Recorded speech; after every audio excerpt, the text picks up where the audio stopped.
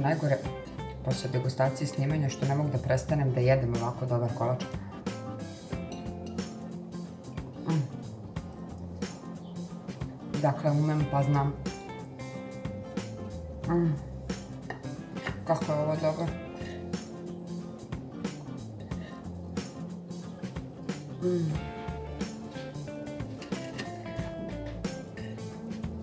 Mislim da sam uništitelj slatkiša. Ali ova je sve.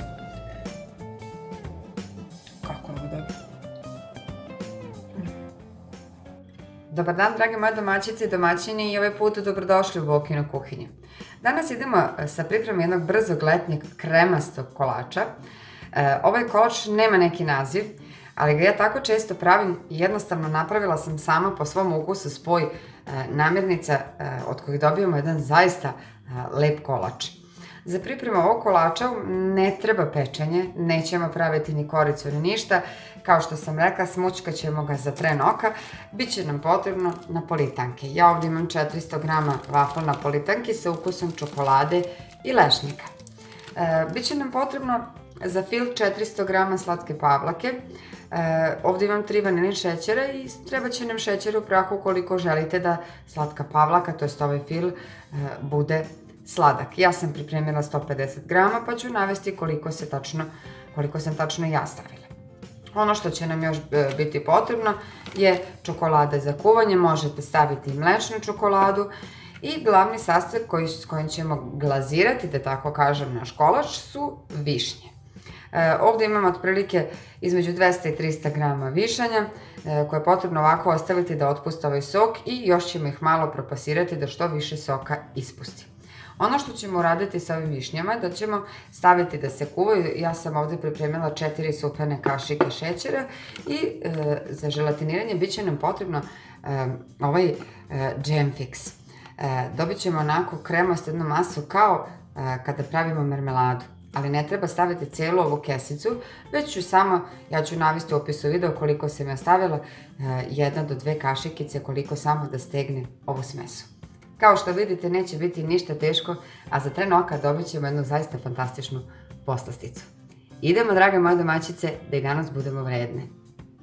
Posudu u kojoj ćete praviti ovaj kolač birate sami. Možete praviti iz jednog reda ili dva reda, možete u okruglom kalupu. Napolitanke je potrebno ovako ređati na dno, ali ukoliko nam ovdje bude bilo viška, naravno svaku napolitanku ćemo skratiti. I kada ste ovako dno e, činije obložili sa napolitankama, sada ćemo napraviti fil. Sada je potrebno dobro umutiti 400 ml slatke pavlake i dodat ćemo postepeno po ukusu šećer u prahu i 3 vanilin šećera.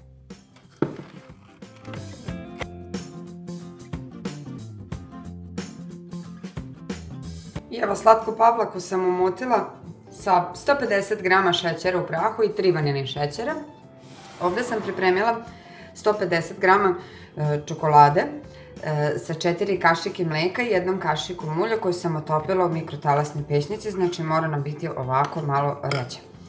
Ovo ovdje su napolitanke koje su ostale i samlila sam ih ovako sitno na čoperu. Količinu neku ne morate određenu, koliko samo malo da pomešamo u slatku papriku.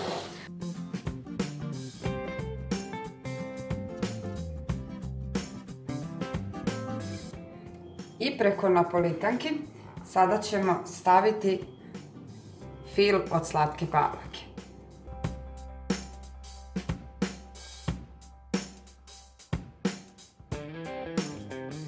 I kada ste kolač ovako lepo e, izravnjali, sada ćemo naravno i malo čokolade ukrasiti od gore, ali ne puno s obzirom da ćemo od gore praviti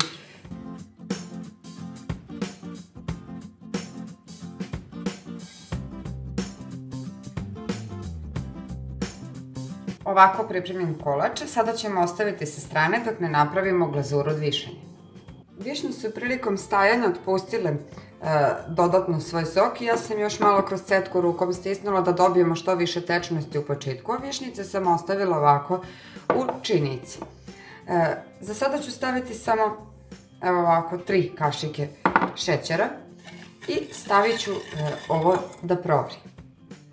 I s obzirom da ovdje imamo jako malu količinu, nećemo staviti ovaj Jam Fix e, ceo, već ću staviti jednu ovako, evo koliko da nije ravna, znači kašika. I sada ćemo sve to zajedno ovako izmešati.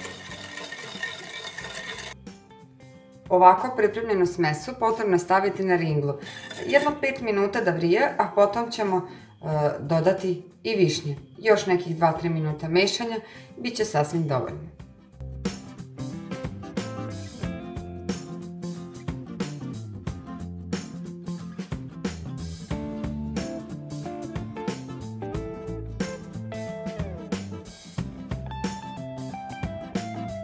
I evo smesa koju smo napravili od višanja se prohladila. Ja sam preručila u neku drugu činiju radi bržeg hlađenja. Otprilike je to bilo 15 minuta. E, mlak je naravno, ali nam ne sme biti vruć. On će se još prilikom e, hlađenja e, potpuno stezati.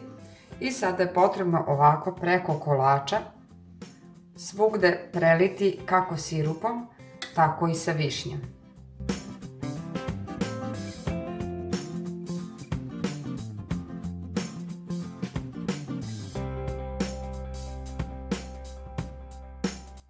I ovako pripremljen kolač, sada je potrebno ostaviti nekoliko sati da se on dobro prohladi i stegne, a potom ćemo ga i iseći.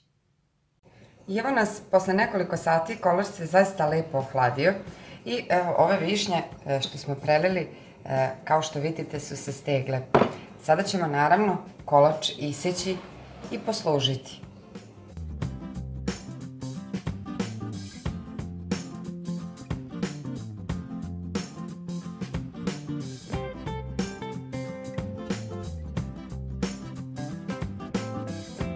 I evo, dragi moji, došli smo i do samog kraja ovog današnjeg fantastičnog recepta. Ono što zasigurno ne mogu da vam prenesem je ukus, a i miris ovog kolača. Nije ga teško napraviti, ne treba nam puno vremena, a ono što je najbitnije da se ne peče.